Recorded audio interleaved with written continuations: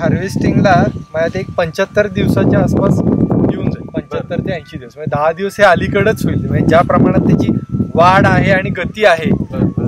तर ते पक्व व्हायला सुद्धा ते लवकरच पक्व होईल. बर बर.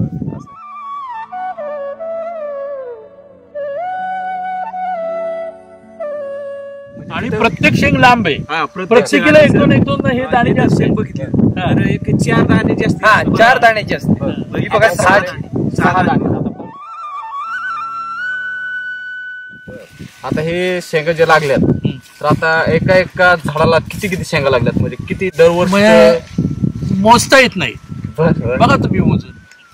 मोजून म्हणजे बघा खूप अं, दाटी झालेली आपण पाहू शकतो हा की खूप प्रमाणात तिथे शेंगा लागलेल्या आहेत दुप्पट आहेत म्हणलं हा. तरी चालेल दुप्पट नाही दरवर्षीपेक्षा दुपटीपेक्षा जास्त दुप्पट. जास्त दुप्पट, चार आणि कमीत पाच कमी असतात. दुप्पट. चार आणि पाच चार असणाऱ्या आणि पाच शेंगा असतात. तुम्हीच बघा त्या डाळ्याला हा, शेंगा किती शेंगा म्हणजे किती. याला यु- या- यापूर्वी करत होता तर फक्त चार आणि चार पाच आणि चार पाच पाच शेंगा शेंगा. एका डाळ्याला आणि आज मोजता येत नाही हा, मस्त आहे. पंचवीस ते तीस आहे किंबहुना नोकरी ही साईड बिझनेस होता शेती प्राधान्य तुम्हाला सांगू एकरी चांगला घेवडा. म्हणजे जास्तीत जास्त साडेतीन ते चार क्विंटल निघणार. बर बर. पण आता हे माझं रान सगळं मिळून पंचवीस गुंठे आहे. बर. त्या पंचवीस गुंठ्यामध्येच मला पाच ते सहा पोती होती बर बर बर. असा अंदाज आहे. वाढेल एखादी पण कमी होणार नाही.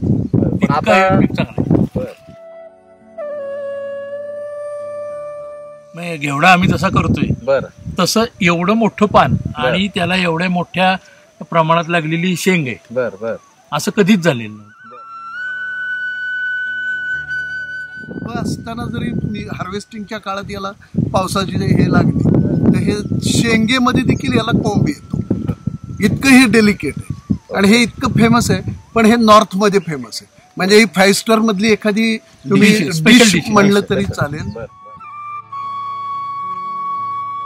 फक्त सॉईल चार्जर टेक्नॉलॉजीचं कृषी अमृत आणि सॉईल चार्जर बाकी काहीही नाही. आणि एक. फवारणी झालेली आहे. फक्त एक फवारणी एक फवारणी झालेली आहे.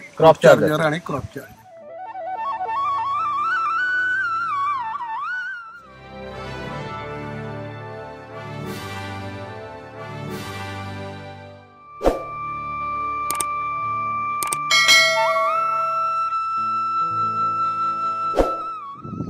नमस्कार.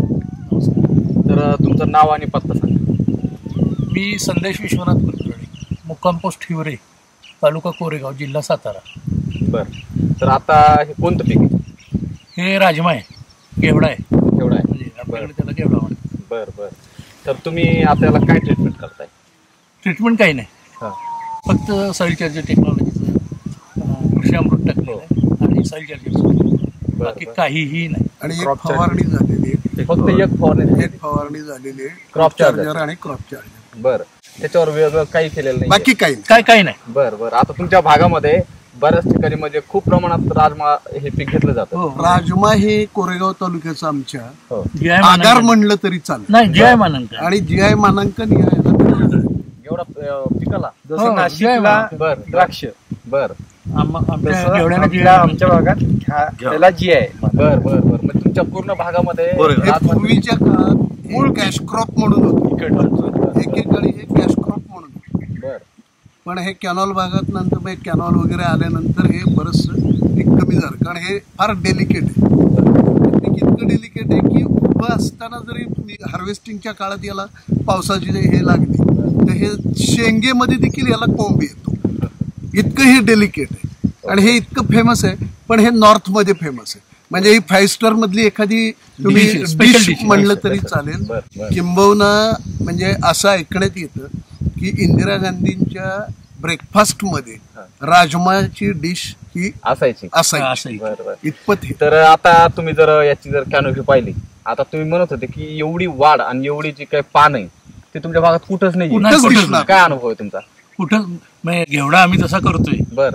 तसं एवढं मोठं पान आणि त्याला एवढ्या मोठ्या प्रमाणात लागलेली शेंग आहे बर बर असं कधीच झालेलं नव्हतं बर आता तुमच्या भागामध्ये खूप प्रमाणात घेतला जातो हो. जे आहे मानांकन सुद्धा तुमच्या गावाला हो. भेटलेलं आहे हं. आणि तालुक्याला, तालुक्याला. हा, तालुक्याला तुमच्या तर म्हणजे ह्या भागात तुम्ही किती वर्षापासून हे पीक करता हे परंपरेनं परंपरेनं. वंश परंपरे म्हणजे खूप अनुभव आहे तुमच्या हो. पिढ्याने पिढ्या अनुभव हो, आहे. तरी तुम्ही सांगत होता की एवढी वाढ होत नाही आणि सगळ्यात महत्वाचं म्हणजे हे जे काही पान आहे. हा हे बघ. तर एवढं मोठं पान यापूर्वी कधी झालं कधीच कधीच बरं तर काय अनुभव आहे त्यातला कधीच. मग अं, इतक्या कधी शेंगाही लागत नव्हत्या. बर.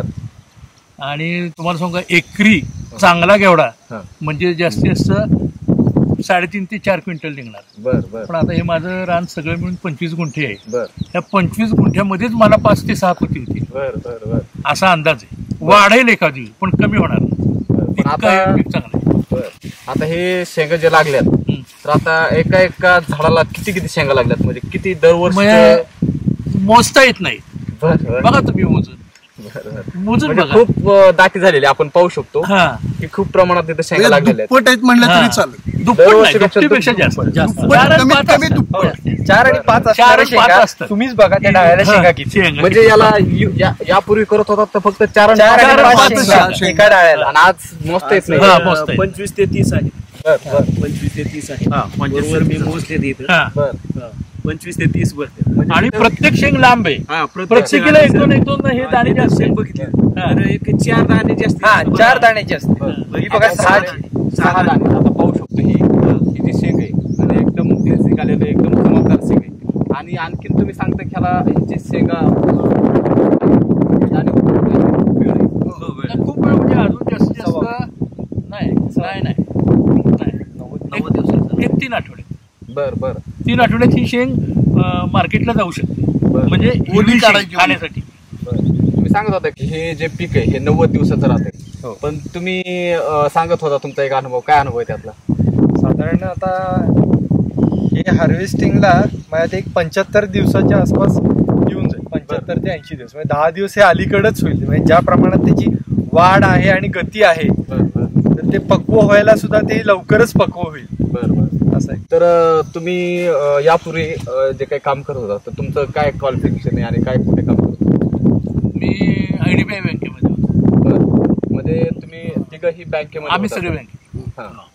तुम्ही तिघ भावंड बँकेमध्ये काम करता. हो. आणि आता रिटायर झाल्याच्यानंतर तुम्ही तुमचा पाऊल शेतीकडे वळवलेला आहे. नाही नाही, शेती मी पहिलं आम्ही दोघं हे म्हणजे दोघं बाहेर. रिझर्व्ह बँकेत मी आणि मुंबईत स्टेट बँकेत आणि हे पहिली युनायटेड वेस्टर्न जी होती हो, हो. त्याचं हेड ऑफिस सातारा आहे बर बर त्यामुळे याची बरीचशी म्हणजे किंबहुना दहा टक्के सर्व्हिस फक्त बाहेर. बाहेर गावी झाली. अन्यथा त्याचा बेस इथंच बरं. इथून पूर्ण शेतीला प्राधान्य त्याने सुरुवातीपासून दे बर बर म्हणजे. त्यांचं जे काय त्याचं. काम करून पुन्हा शेती बघायचं हा. म्हणजे शेतीची पहिल्यापासून आवड. आहे बर बर किंबहुना नोकरी ही साईड बिझनेस होता शेती आता तुम्ही बरेचसे प्रयोग करत असता आणि याच्यामध्ये पण तुम्ही प्रयोग केलेले म्हणजे आंतरपीक आता मध्ये कोणतं पीक आहे आणि तुम्ही- आलंय. आलंय. हा, आता तुमचं जे मेन क्रॉप आहे. ते आलंय. आणि त्यानंतर आंतरपीक म्हणून तुम्ही घेवडा घेतलाय घेवडा.